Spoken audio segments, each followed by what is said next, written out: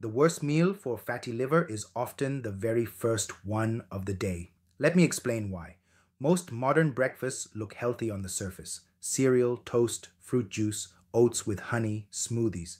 They're marketed as clean, light, and nutritious, but metabolically, they do something very different. First thing in the morning, your cortisol is already high. That's normal. Cortisol helps you wake up and mobilize energy. But when you stack sugar and refined carbohydrates on top of that cortisol surge, insulin spikes aggressively. And high insulin always sends one message to the body store fat.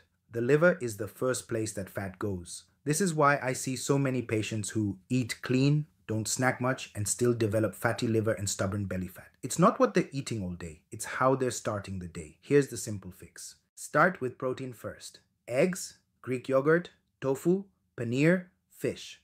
Protein lowers the insulin response and stabilizes blood sugar.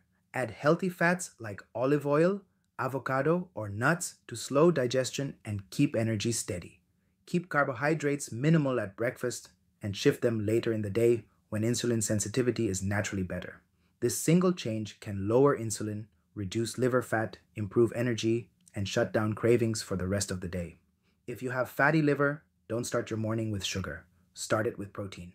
Your liver will feel the difference very quickly. Please like and share this video with someone who wants to improve their metabolism and reverse fatty liver disease. Follow me for real, science backed strategies to live disease free and avoid all medications. Until next time, stay strong.